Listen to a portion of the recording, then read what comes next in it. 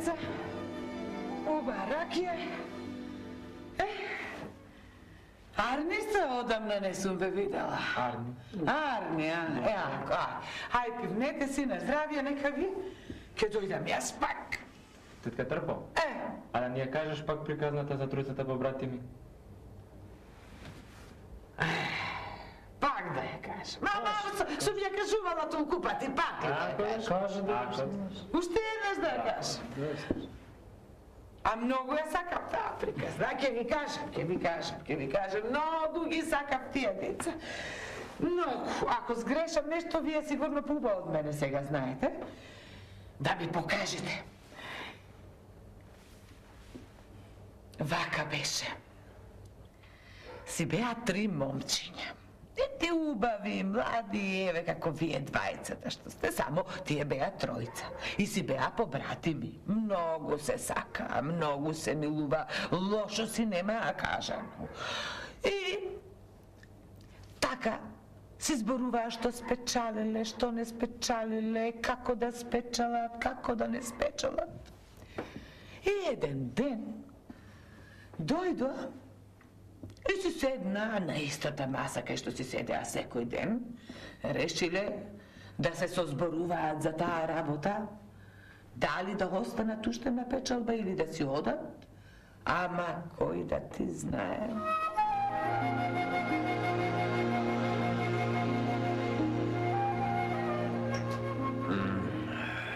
И како печалбата? Немаше да се кажува многу и мене да ме прашавте и јас ке си молчев. Што да се кажува? Не прашуваш како да не сме се виделе 100 години. Знаеш и самиот дека работава не е за фалење. Е, а се сеќавате ли со каков мерак тргнавме на печалба? Вака ќе биде, онака ќе биде, волку ќе печалиме, оналку ќе печалиме. Ама ете, деца бевме, гачки си кажувавме. Се сеќавам, седевме на сред село и го спечаливме сето богатство на светот. Мора и вака не е лошо, да бевме останати в село, може ни тоа ќе го немав. Да. Ајде да не се лажеме како деца, туку да видиме време е за враќање дома. Да се се ожениме со времеот и тоа ќе не згази, како што работава не згази овде. Абе, да се вратиме, ама со што ќе се пофалиме? Мора имало невало за фалење, јас мислам дека на вистина треба да си појдеме дома. Оти, како што ни тргнало на секој да печалиме годиња и годиња ќе треба да поминат за да заработиме некоја паричка, ама тогаш кој ќе остариме, па мислам дека и не треба да се жениме. Тетка Трпо, О, ела малку да ти нарачаме. е, еве, идам. Кажете. Тетка Трпо, ајде да, да каснеме нешто, а? Како нема да Да кажам? казнете, јас мислев ќе пиете уште. Не. До- Доста ви беше, а? Доста беше. Имаш нешто од нашиот крај? Им, им, Туку им. не, не чекай малку да те прашам нешто. Ма, Кажи им како го спечали сето ова овде. За колку време, а? да ви кажам. Ама сто пати сум ви кажувала. Ај, ај, ај, пак ќе ви кажам. А, Колку, колку? Колку, колку, колку. Цел живот. Цел живот, деца, ова го печалевме. Цел живот, оти со домакинот мој, кога дојдовме овде, деца бевме, млади, млади. И си рековме, така за малку, да присобереме некоја парички и ќе си се вратиме. За малку, за малку, за малку, еве го домакинот мој, коските ги остави овде. Бог да го прости. О, лесна нека му е земјата. А, а јас, јас не знам дали ќе се вратам, дали ќе си го видам селото уште еднаш или нема да си го видам.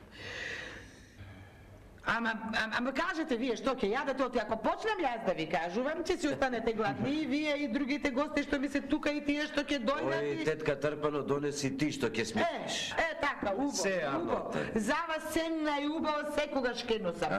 Ај, ај, пивнете уште малку, сега ќе го донесам јадење.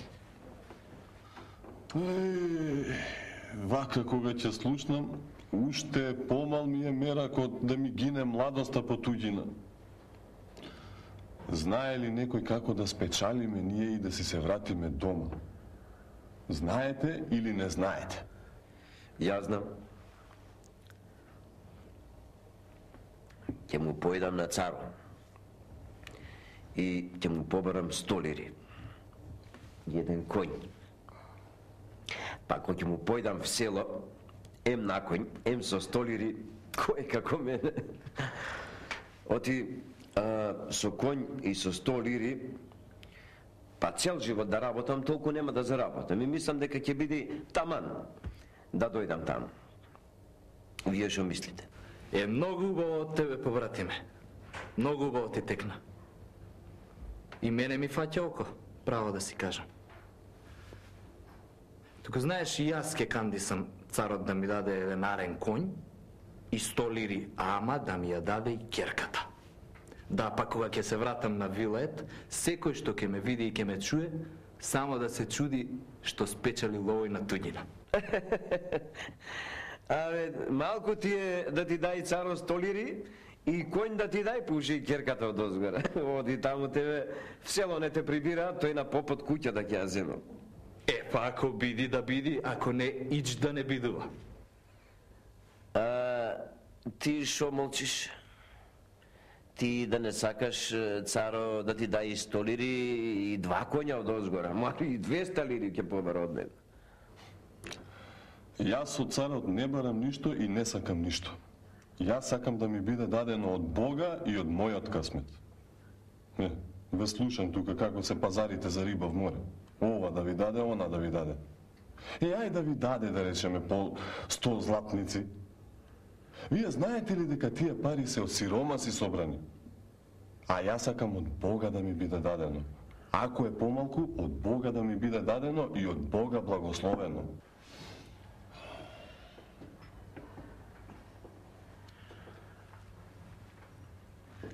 О, незаборежена. Тарпано, Е, хај со тоа јадењето приумревме овде за јадење. еве, еве, сега ќе го донесам. Знам дека се забавив. Ама, ви го слушам муабетот.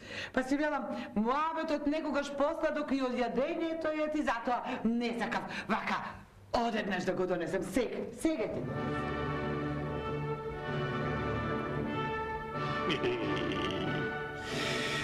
Знам се, се што сакате, а се чудите од каде можам да знам кој сте и што сте. Ами лели сум цар, јас имам очи и уши на секаде. Се знам што се зборува и што се прави по царштината. Ти што си рекол, лај кажи да те слушнам уште еднаш? Честити царе, јас тоа го кажав така, на шегане, оти го мислев, а знам, оти таа работа не видува. И сакал тебе сто алтани, сто златници лири и еден конј да ти дадам. Добро. А ти сто алтари, еден конј, та и керка ми за жена да ти ја дам. Честити царе, па не ми го испила чавка умот да кажам нешто на вистински што не е закажување. Ние малку се лажевме како деца на цареви што се прават на буниште. А, убо, А ти бре, ти што си рекол? Јас, честити царе, на тоа реков дека твоите пари не ги сакам, оти се од сиромасите земени, дека со клетви се земени и дека јас сакам Господ да ми даде и да ми го благослови тоа што ќе ми го даде. Ете така кажав, па сега ако сум сгрешил нешто, прости ми. Е, сега ќе ми ти кажам убо да знаеш, со овој лав многу ме налути. За ова нешто ќе видиш ти што ќе те најде. Ќе видиш кој е Госпо, а кој е царо. Стражаро, Да. дојди да ми ти кажам нешто. Слушај ме се што ќе ти речам. Овие двајцава ќе ги земиш и ќе ги носиш кај Азнарот. Ќе му кажеш на овега таму да му дај 100 лири, златници, алтари демек. И една мазга нека му дај, да му служи појќе за работа. Конј, е, Не. Царски збор назад не се враќа. Тоа што реков, тоа ќе биде. А на овега 100 лири, една мазга, таку гере и ќерка ми за жена да му ја дадат. Се разбравме? Разбирам. Ајде, земи ги и речи му на джелято нека до Иван. Ајде вие.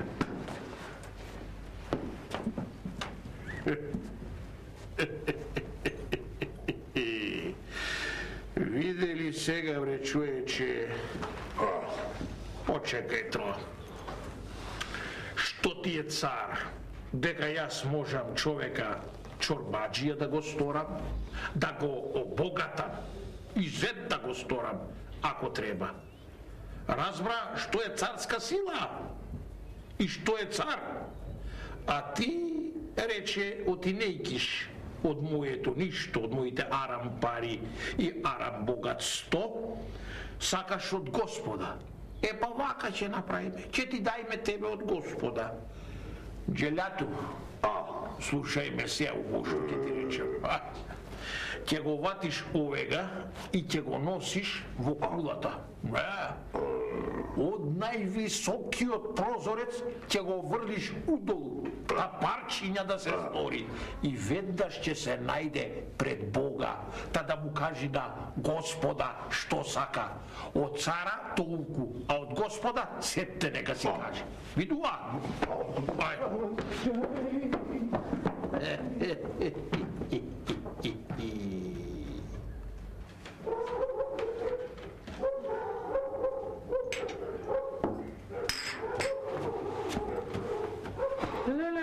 Дете, што ти е?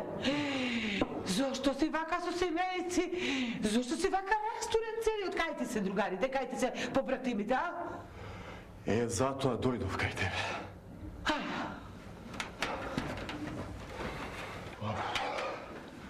Тебе сакав да те прашам, да не се ги видела ти. Не. Елки не отишле без да се Не. поздрават со тебе? Не сум ги видела и ништо не знам за нив, ама ти, ти кажи ми, тебе што те снашло, што си ваков, кажи ми. Остај, тетко, голема излезе работа. До царот стигна. Што? Е, па така, царот разбрал, не знам од каде разбрал, ама разбрал, што сме збореле, како сме збореле, Каде? и другите двајца ги награди, а мене нареди да ме фрлат од прозорец. Ама што слушнал за какво зборување зборуваш? Е, тоа што зборевме тука во Мејанова. Тогаш, ручек од кога? Ау. И нареди да те погубат. Да, нареди да ме... Чекај, чекај, наредил да те погубат, ама те гледам жив си. Е, ме гледаш жив, оти Господ ме спаси. Леле. Господ кога сака да те спаси, ќе те спаси. Е, така е, така. Така, тој ме фрли од прозорец и тоа од највисокиот прозорец. Е, арно, ама јас паднав на една куќа со герамиди и герамидите ме спасија. И бидејќи куќата ниска, јас останав жив. Ај, ај, ај, ај, ај, велиш до...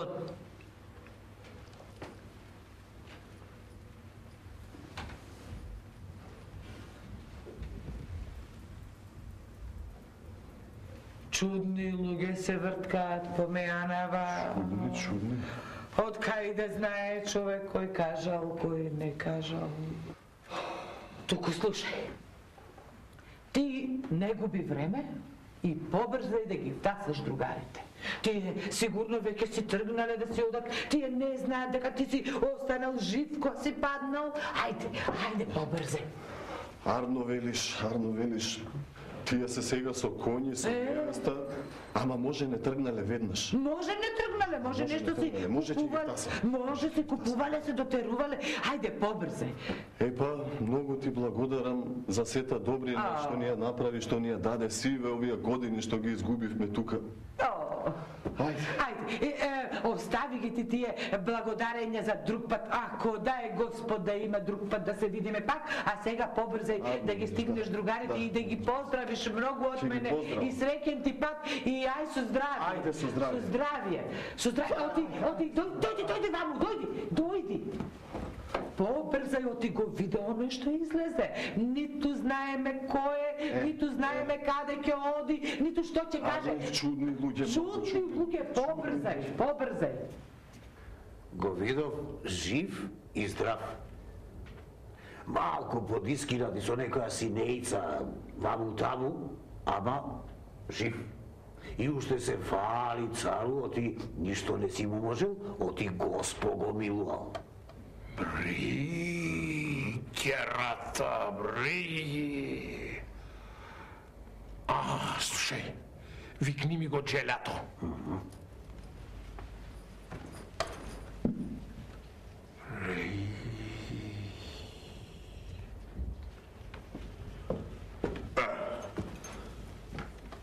Дојди вам. Слушај ме се убаво. Ќе појдиш, ќе ги стасаш оние. И внимавај. Чекај полека. Сакам тој што оди пеш да го отепаш. Пау. Пау. Тој што оди пеш, внимавај. Немој нешто ќерками да ја покотиш. Јали некој од друзите. Тој што оди пеш, да го отепаш, разбра? Ај така. Ајде. Ајде.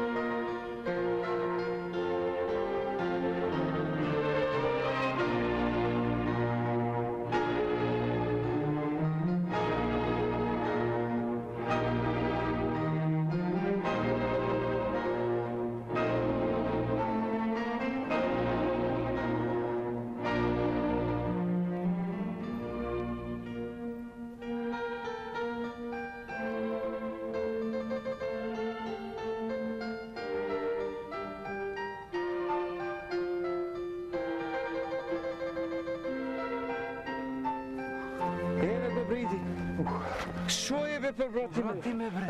Кај ти е мазгата од царо? Што му Кај ти се па? Шо си ваков скапа бре сио? Остај, побратиме, остај, Господ ме куртули како Господ никој. Ама. А што беше, како беше, сетне ќе ви кажам. Ајде, ајде да тргнеме сега да одиме, ајде. Побратиме си имал среќа што не тргнавме веднаш, оти ако тргневме цел пат сам ќе одеш. Сами поди, поди, застани сио пат си вратов ми се сврте сио. Хај вака ќе направиме, ова се царски мазги ние не ги јававме. Туку ти ваков како што си сиромав, а, погодија малку дури да те научи мазгава, па после јавни. Да, јано, е, е, ај, после кажете дека Господ не ме сакал. Абе, вакви побратими да ми даде, да ти е мерак. Оди та. Ај да видам што ми е нешто. Ај. Што? е забоцка нешто во нога.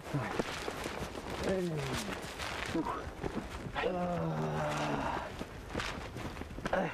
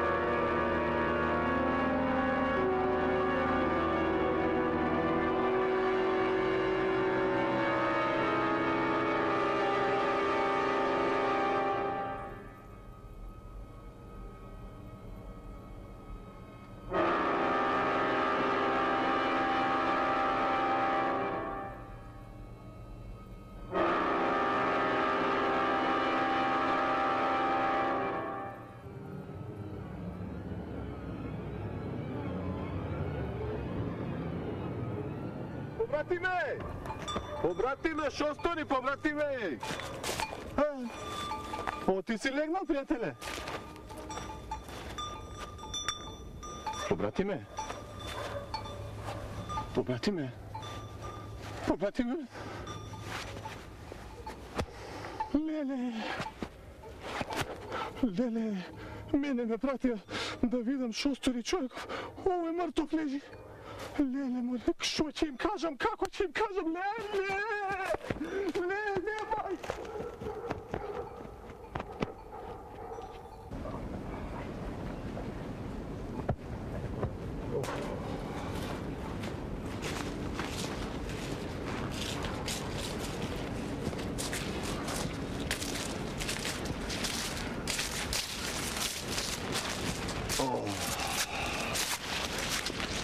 пријателе, јас мислам тука да преночиме. Тука, тука. А, бе, побратиме, тагата ме отепа, тагата ме отепа што го оставивме побратимот коските да му скапуваат на туѓа земја. Шо чудо ќе беше, бе, о, ти го отепа. Барем арами и да беа, па да знаевме. Вака. Пријателе, што ќе кажат селаните во село кога ќе дојдеме без него? А? Не знам, не знам што ќе кажат. Ајде, ајде да преноќиме, па утре ќе му мислиме. Ајде, ајде, тука да си легнеме.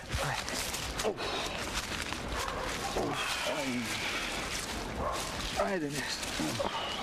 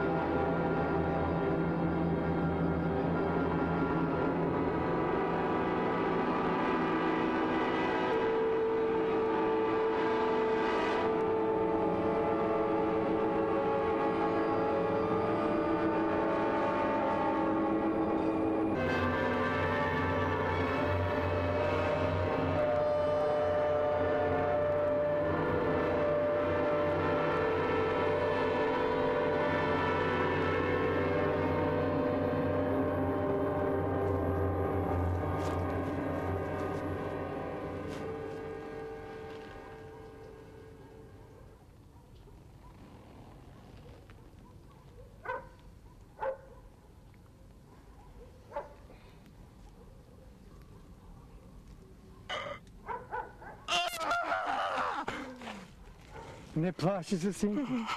Не плаши се. Ништо нема да ти сторам.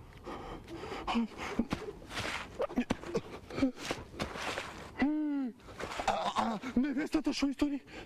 Ништо не историв. Таа само спие. Побратиме? Побратиме? Šta побратимот? Јас не му сторив ништо. Нему така му било пишано. Сакам да ти кажам, да знаеш, дека јас сум твојот късмет. Дојдов да ти кажам, дека за тебе има една чешма од која што тече злато. Ќе отидеш и ќе изградиш сарај. Никому нема да кажуваш за чешмата. Оти ако кажеш, водата ќе исекне и никогаш нема да потече злато.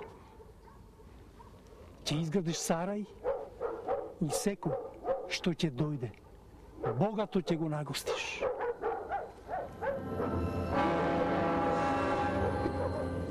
А што направам со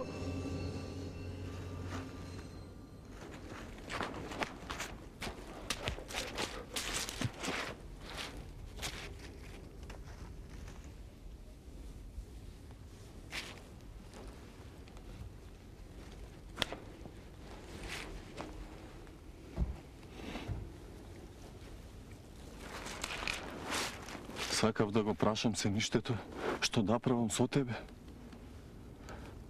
Се плашам што ќе рече царот. Ти не си речена за мене. Не знам дали да те вратам назад. Нема да ме врекеш назад. Ќе останам со тебе, оти се гледа дека така било пишано. И да не ќе јас, Господ сакал да бидам со тебе. А ти, послушај го се ништето што ти рече и побргу венчај ме оти Срамота е да одам вака невенчана со тебе. Арно велиш. Утре изутрина ќе се простам со побратимот, ќе ја побараме чешмата и ако е вистина, Сарај ќе направиме и на Сарајот ќе се седиме. Арно велиш. И велиш така. Абре, треба убо да ми кажете кој е, шо е и што треба, на кого треба да направам. Ако треба главата да лети, главата нека му лета. Ама, ова е за нешто друго. И што е, што е, ајде кажу ли. Сакам да ти кажам дека имал некој парен сарај и само за него се зборува. Ага. Бре, е, ото јас да не знам ништо за таа работа. Лели бре, ти си ми очи и уши. А? Хајде кажувај, кажувај, каков е тој сарај? Хајде кажувај. Еми, тој сарај ти бил некој Ан. А, Сите патници таму што поминувале, јаделе, пиеле и ич ништо за тоа не им земале. Дури и коњите на, на гостите ги напојувале со зоб, ги зобеле. Така вела? Повеќе и од тебе го славеле и фалеле. Дури стопанката на стопанот на Анот, таа па многу добра била, дури, дури предобра. о, бре. Абре, знаеш, од иглата може да ти летне за оваа работа. Заошто до сега не си ми кажал? Заошто си ми очи и уши? Слушај ме сега, што ќе ти речам убо. Ќе се подготвиме и ќе ги нисаме на пат. Ама јас ќе се преправам тебдил на чорбаджија. Никој да не ме познае. А ќе дојдеш и ти и челато со мене. Разбираш? Арно, да одиме да видиме што е тоа и као е тоа. Арно, цару, Ајде, ајде сега оди и речи му и на джелатот да се подготви. Ајде.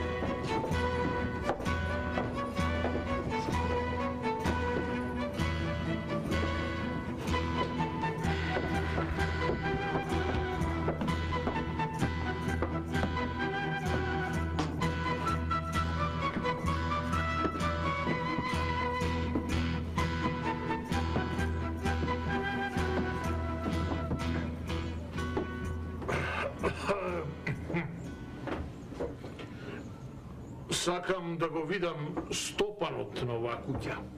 Е па, го гледаш пред тебе. Кажете што ќе се најадете ти и твоите пријатели. А вистина ли е дека тука не се плаќало ни за јадењето, ни за пиењето? Е, овде пиење нема. А за јадењето и спиењето вистина не се плаќа. Оти Господ ми ги даде парите и ми заповеда вака да ги трошам. А Господ велиш ти ги даде, а? Ова, како да сум го чул некаде. А и тебе, како да сум те видел некаде, а? Е, јас тебе те знам, ама не знам дали ти мене ме паметиш. Паметам еден таков, ама тој веќе одамна е умрен. Та неќе да си тој. Е, не сум умрен честити царе, не сум. И те познав, ако си тебдил. А ти мене не можеш да ме познаеш, зашто мислиш дека јас сум мртов. Е, а јас сум жив. Видели сега, честити царе, дека тоа Господ што го напишал, ти не можеш да го избришеш. Еве ја и ќерка ти, што била пишана за мене, а не за друг. Јас сум, татко, јас сум. Со него останав, оти тој за кој што ме даде, си даде душа Богу и курбан отиде за Сарајот. Ете така да знаеш. Значи ти си керка ми. Ти да се најдиш тука со овој мој најголем душман. Веднаш да станеш и пред мене да одиш, а јас со овега имам уште работа. Не одам, татко, никаде. Мојот човек не сторил никакво зло никогаш и со него ќе си останам довека. Ништо не сторил. А откаде му се парите што ги арчи натаму нааму, а? Е, таа работа, честити царе, нема да ти ја кажам, па ако сакаш, уште еднаш фрлиме од највисокиот прозорец. Не ми треба мене тука никакво јадење. Ајде бе, станувајте да си одиме. А тебе не сакам да те видам појќе. Оди до дома, честити царе, продумај си малку сам со себе и кога ќе се вратиш, ќе се смириме. Па, Ајде бе.